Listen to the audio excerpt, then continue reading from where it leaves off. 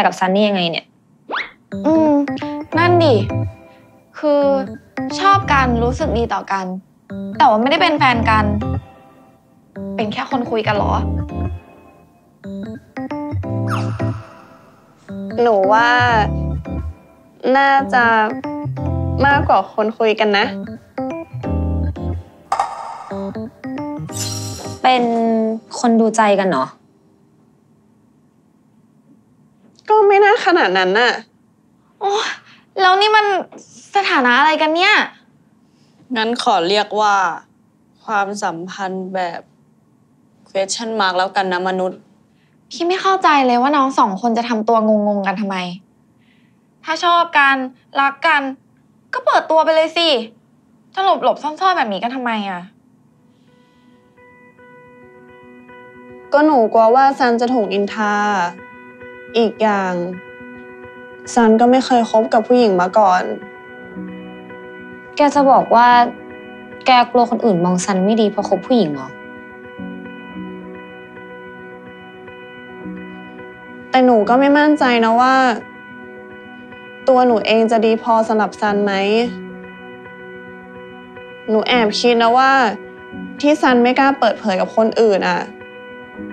อาจจะเพราะว่าห นูยังดีไม่พอ อย่าพูดแบบนั้นทำไมแกถึงจะดีไม่พอ นั่นดิ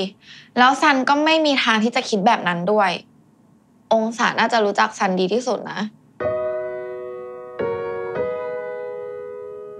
แล้วหนูต้องทำยังไงดีอะ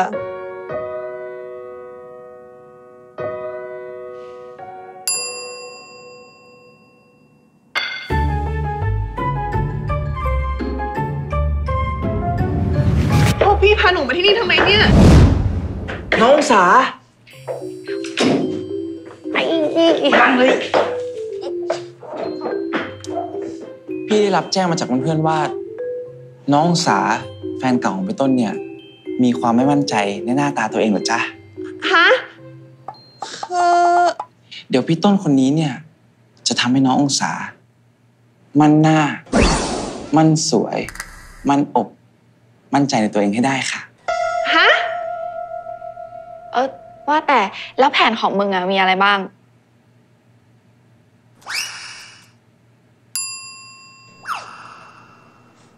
กูจะส่งน้ององศาขึ้นเสลี่ยงเสลี่ยงอะไรคะพี่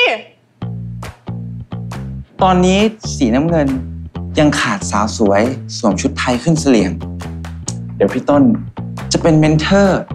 ปั้นให้น้ององศาเนี่ย เป็นดาวโรงเรียน ในวันกีฬาสีค่ะ พี่ต้นไม่เอาดีกว่า ไม่ดีกว่า หนูทำไม่ได้หรอกพี่ต้น แต่พี่ต้นทำได้ค่ะ